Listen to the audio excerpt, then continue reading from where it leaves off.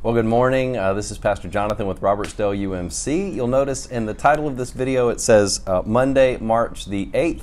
Uh, and that is not because I don't know what day it is. Uh, it is actually Tuesday as I'm recording this live video, but uh, I was not with you yesterday, and so uh, I wanted to explain why, and then I wanted to do this video. I will be doing Tuesday's video right after it, and the reason I'm doing these videos separately is to catch up from yesterday, and for those people that come back and watch these later, uh, I know some people that play catch up and watch two or three at a time, uh, or someone may go back and watch this as a series and watch all 39 videos during this Lenten devotion devotional through Mark's Gospel. Uh, so I'm posting these separately, and the reason I wasn't with you yesterday uh, is, is we found out over the weekend that our two-year-old is severely allergic to penicillin. Uh, so after two trips to the emergency room and dealing with that over the weekend, uh, I ended up taking a sick day yesterday so that we could take her to see our pediatrician, uh, make sure we knew exactly what was wrong and that we were doing everything necessary to treat her uh, appropriately. So she's doing much better today. Thank you to all of you who prayed for her and prayed for us. Uh, we really appreciate it. Uh, but again, my name is Pastor Jonathan, and if you're new uh, here, uh, this is the Facebook Live, uh, Facebook page, YouTube channel, and website of Robertsdale United Methodist Church. If you are part of our church family, uh, I greet you this morning and I welcome you. And it is good to be with you in this way. It's always good uh, to just spend some time together with each other and with the Lord. Uh, know that I am praying for you, and thank you so much for your prayers for us. Uh, we've been going through the Gospel of Mark, as I said and doing kind of a, a Lenten journey. Uh, we're preaching on Mark on Sunday mornings, and so today we actually are looking at a passage that I preached partly on Sunday. So I'm not going to spend a lot of time on Mark uh, 7 24 through 30 because that was the sermon text about the Syrophoenician woman. Uh, but I will name some things that we see in that story as we continue through. And, the, and then we'll go on to um, Jesus healing a man who is deaf and mute. So we see at, uh, it, in the first part of Mark chapter 7 this long discourse in the last video of Jesus talking to the Pharisees and then his own disciples. He actually calls a crowd around him. Uh, this is one of those instances where Jesus, it says, calls a crowd to himself so that he can explain to them uh, something very simple but very powerful and very radical uh, in his day. And that is that of all of the uh, rituals, um, and traditions that the elders had to try to keep people ritually clean before the Lord. Um, Jesus says it's actually not what goes in from the outside that defiles, but it's what comes out of a person because what comes out of us is from our heart, it's from within. And so what comes out of us reveals the cleanliness or uncleanliness inside. This is actually not uh, a New Testament idea. Uh, the prophet Isaiah uh, uh, mourned at times because of the spiritual condition of Israel, and he would speak on behalf of the Lord Rend your hearts and not your garments. Um, I'm sick of your burnt offerings and your incense uh, and your sacrifices. What I want is, uh, is, uh, is your heart, is a clean heart and, and a right and good heart. And so they were going about the religious rhythms. Uh, while neglecting things like justice and mercy and taking care of the poor among them uh, and, and all these things. And Jesus even mentions in Mark chapter 7 uh, that you're, you're saying to someone because these things that you would use to take care of your aging parents are dedicated to the Lord, that you uh, no longer can use them to take care of your family.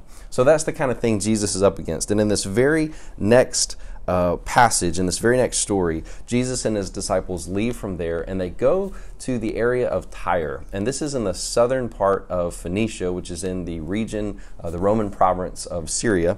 So, this uh, Syrophoenician woman, and Mark points out that she's a Gentile. Why does he do this? Well, because in the area where Jesus and his disciples are, um, it, is, it is a mostly Gentile area. They've been in a mostly Jewish area that can also have Gentiles. Now they're in a mostly Gentile area that also has Jews. So it's actually really hard. I mean, regardless of, of what uh, what you may read or hear, um, there's not just a, a, clean way to say, oh, well, now he's only with Jews or now he's only with Gentiles, unless the text tells us that. So the text does. It says this woman was a Gentile. She was a Syrophoenician. So she comes to Jesus, and her daughter has an impure spirit.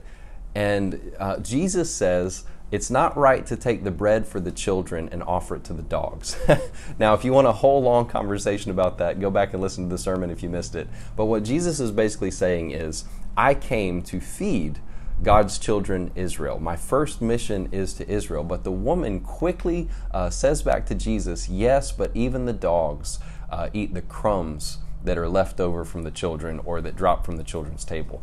Uh, so this woman very quickly shows her humility, uh, also shows her knowledge of who. Um, uh, who God is and what His plan is uh, to bless the world through blessing Israel. And because of the goodness of her answer, Jesus says, Go. Uh, and she finds her daughter with, with the unclean spirit gone.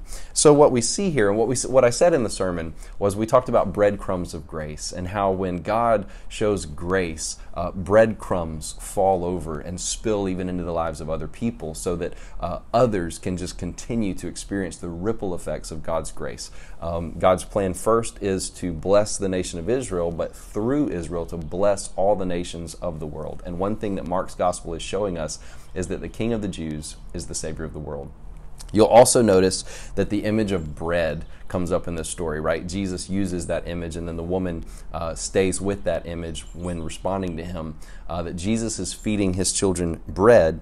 Now, in Mark 6, uh, Jesus has already fed 5,000. You remember that? Uh, and they, they pick up 12 basketfuls, and uh, then Jesus walks on the water, and that doesn't seem to be about bread until it says, uh, the disciples didn't understand why Jesus was able to walk on the water because they, they didn't remember about the loaves. Now, what in the world is that about? Well, I posted a video about that, but it didn't have any sound, so I'll be re recording and reposting that video. So, we've been seeing this image of bread coming up all throughout this part of the gospel. And then uh, the breadcrumbs of grace continue to spill over. Now, some, some will argue that this next story in Mark 7, verses 31 through 37, where Jesus heals a man who's deaf and mute, some will argue that this man too is a Gentile. Uh, Jesus goes from Tyre to Sidon, which is another place uh, mostly of Gentiles.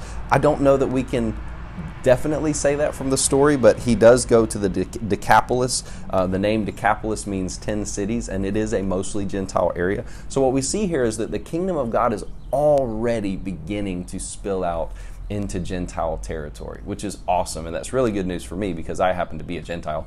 Um, and, and even if it wasn't, uh, at the cross, God uh, climaxes what he came to accomplish in Jesus Christ um, and then, of course, in the resurrection. And that does open the floodgates uh, for salvation and blessing to come to the Gentiles as well. But even in these stories, we see the breadcrumbs of grace beginning to spill out. Uh, over not just into Jewish territory, but now even into Gentile territory. And they bring to him this man who's deaf and can hardly talk, and they, they beg Jesus to place his hand on him. And uh, Jesus puts his fingers into the man's ears then he spits and touches the man's tongue. So Jesus uses some of his own spit, touches the man's tongue, looks up to heaven, and with a deep sigh says, uh, Ephphatha, which means be opened in Aramaic.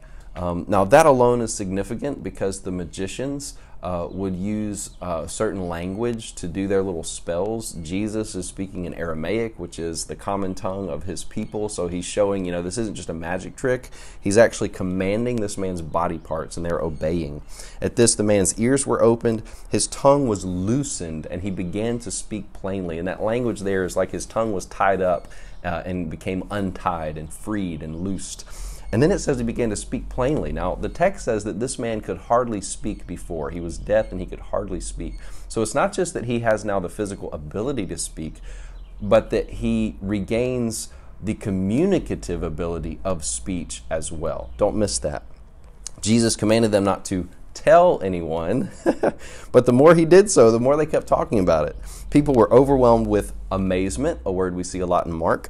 He's done everything well. He even makes the deaf hear and the mute speak. Now, what's going on in this story? Well, um, all that we've said so far, and maybe observations that you've made that I haven't said, but one more thing that we need to see is that Isaiah chapter 35, verses 5 and 6 say this Then will the eyes of the blind be opened, and the ears of the deaf unstopped. Then will the lame leap like a deer, and the mute tongue shout for joy.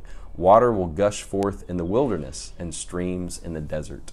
That was a very well known prophecy that was uh, about the renewal of Israel after the years of exile. This is what Israel's been waiting on. And Jesus has done a lot of miracles up to this point. I don't know if he's healed any deaf or mute people, but the reason this story is included is to show, again, just another facet of that diamond that is Messiah, that Jesus is being revealed as a Messiah. Not just that he's divine, that, that in being the Son of God, he is God, but that he is Messiah. He is that Savior figure, that anointed king uh, that was supposed to be prophet, priest, or king, one of those three offices that would come back and restore uh, Israel um, by overthrowing this kind of military overthrow of their oppressors, uh, and then eventually restore uh, peace not only to Israel, but God's sovereignty and a reign of peace over the entire world. And Jesus ends up being prophet, priest, and king, as we see. Uh, but in healing this deaf mute, uh, that prophecy is being fulfilled. And it's just one more affirmation that who Jesus is, is the Messiah uh, that the Jews have been waiting on, who indeed ends up being the Savior of the entire world. Uh, it also shows me that Jesus has power uh, over the physical. Uh, as he did with the multiplying of the food, as he did with walking on the water, um, but it also it goes back to what he was saying about that which comes out of a person. Did you notice that? not it's not what goes into a person that defiles them or shows them to be righteous, but it's what comes out of a person. And what did Jesus use to heal the man? Well, he put his fingers in his ear and he put spit. He put he put his own spit, what comes out of him, actually had the power to heal this man. So again, showing who Jesus is from the inside out. Let's see. Uh, secrets and speech, that's also a theme here, just to play on words. You know, he's, he's giving this man the ability to speak. He's opening his ears and loosening his tongue, and yet he's telling the people, uh, don't tell what just happened, which of course they do. And Jesus' reputation begins to spread, and the gospel is going to shift in just a moment. And we're going to enter a new phase of Jesus' ministry where the secret is truly out. His reputation's already been spreading, and there's this grassroots rumbling. Uh, the reason he wants it not to uh, be too loud and too quick is is because he needs time. He wants time to accomplish his full mission.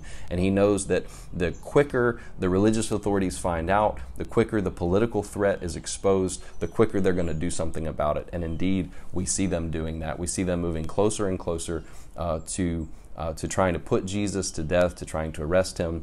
Uh, and we already see that begin to really explode as he begins to set his sights on Jerusalem. So uh, I hope that this this part of Mark's story has been inspirational in and of itself. And I hope that as we take this journey, you're starting to see how it all fits together. And I hope that God is using it to speak to you on a personal and practical level about who Jesus is uh, and who he is to us and what it means for him to be himself in our lives today on his terms and to do the kinds of things in our lives uh, that Mark's gospel reveals that he came to do. Uh, so, God bless you. I'll see you again. I'll really see you again in just a few minutes. But for those watching this, I'll see you in the next video as we look at uh, Mark chapter 8, verses 1 through 21. God bless you. Grace and peace.